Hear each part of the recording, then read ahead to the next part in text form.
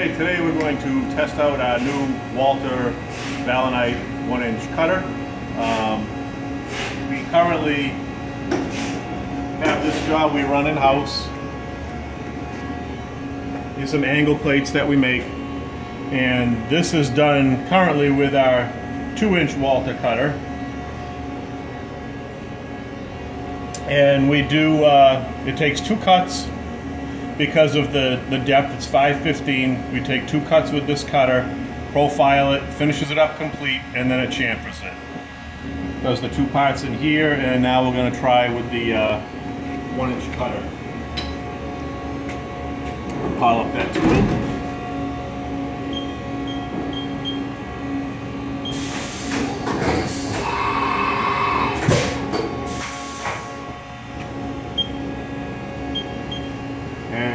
Is our new one inch cutter. The uh, it's hanging out of the uh, tool holder quite a bit. I don't want to cut it yet until we prove out the cut and make sure it's good. Uh, so I do expect a little bit of, actually I expect a lot of noise, a little bit of vibration, but as long as it's going to do what we uh, expect it to do, then we'll take it and cut it off and maybe get that sticking out of there maybe an inch and a half or two inches or so. Right now it's about, I think it's about three inches. Uh, closer to closer to four. It's about three and three quarter inches out of the holder. So we'll see. This is going to be profiling the piece, full depth, 515 thousandths, 12,000 RPM. Um, the first cut is going to come along the outer part of the material here to remove that at uh, 60 inches a minute. Then it's going to profile at 250. When it takes the full width over here, it's going to go at 90. So uh, let's see what happens. We haven't run this yet, so all we've done is dry run it. So I'm going to be kind of taking it easy here the first time, just to make sure we don't have a crash or anything.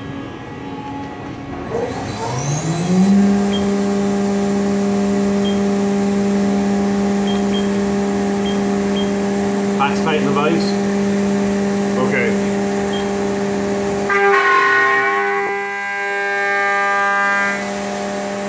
There's the vibration we were talking about.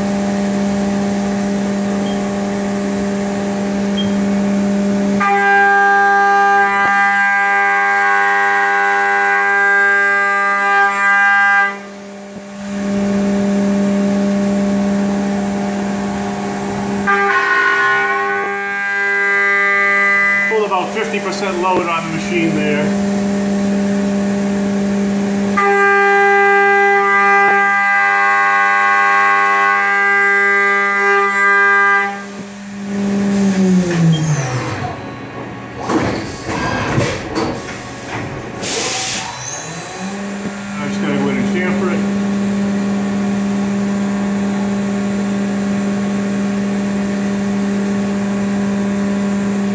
Load it pulled on there with that one inch cutter was about 55% and that was cutting the angle, that was almost full width, 515 thousandths deep at 90 inches a minute. So we can beef that up quite a bit. Let's see what our finish looks like.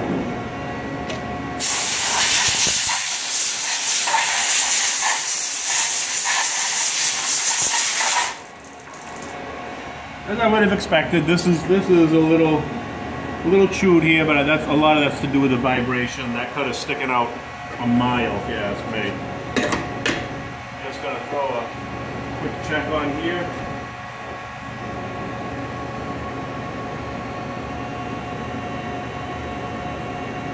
That's within two thousandths of size.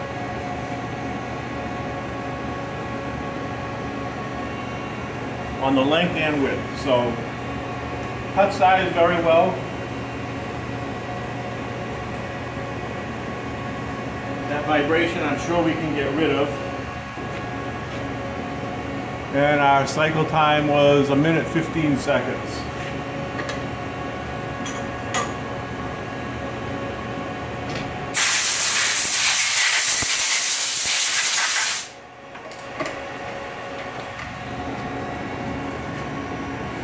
Know how well this is showing up on the video, but you can see there is, uh, that's well, well under a 125 finish. Um, is it something that I would want to send to my customer? Absolutely not, even though that's all they call for. You can see the difference.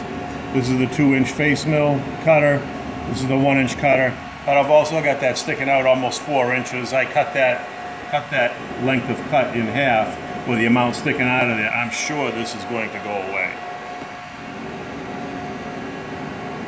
This right here is a little rough. We'll put this piece back in and touch that up afterwards. To put the next batch in and run it 100%.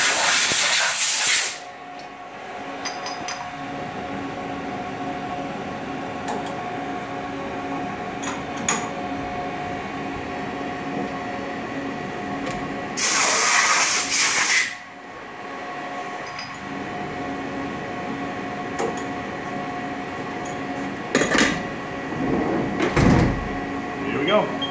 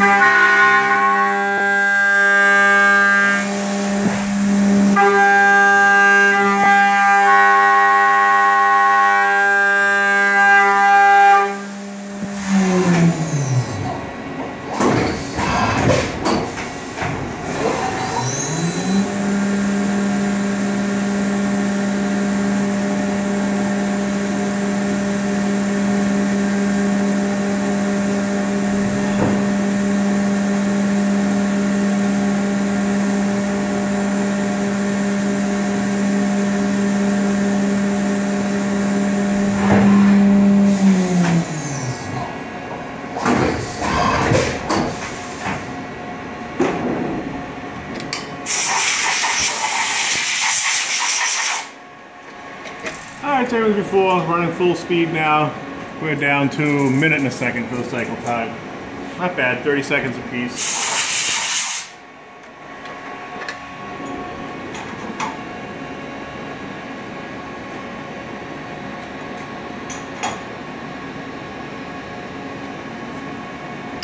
Oh, there you have it. There's our test. Um, our previous cycle with the two inch cutter including the unload and load time was two and a quarter minutes. This is a minute.